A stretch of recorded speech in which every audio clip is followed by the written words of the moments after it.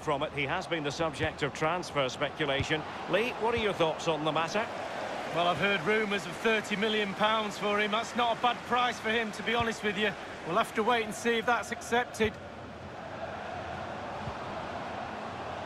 Excellent use of the ball as they make their way forward. Gives it a go.